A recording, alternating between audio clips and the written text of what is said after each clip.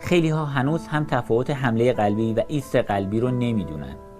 حمله قلبی اصولا مربوط به اختلال خونرسانی به عضله قلبه اما ایست قلبی مربوط به مشکل الکتریکی قلبه که باعث تپش قلب میشه.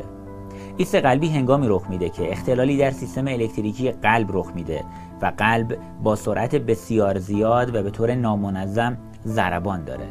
یا به طور کلی ضربان اون ممکنه متوقف بشه. در چنین وضعیتی با توقف خونرسانی به مغز، ریه ها و سایر اندام ها فرد دچار خفقان شده یا تنفسش قطع میشه و در طول چند ثانیه هوشیاریش رو از دست میده. توجه داشته باشید گرچه حمله قلبی علت شایع ایست قلبیه اما اغلب حمله های قلبی به ایست قلبی منتهی نمیشند. در مقابل عوامل دیگری به جز حمله قلبی هم می‌تونند ایست قلبی رو ایجاد بکنند. از جمله نارسایی قلبی آمبولی ریوی یا همون وارد شدن لخته جدا شده از راه رگها به ریه. عدم تعادل شدید میزان پتاسیم و حتی سایر مواد معدنی در خون و مصرف مواد مخدر یا وارد آمدن ضربه ای به قفسه سینه.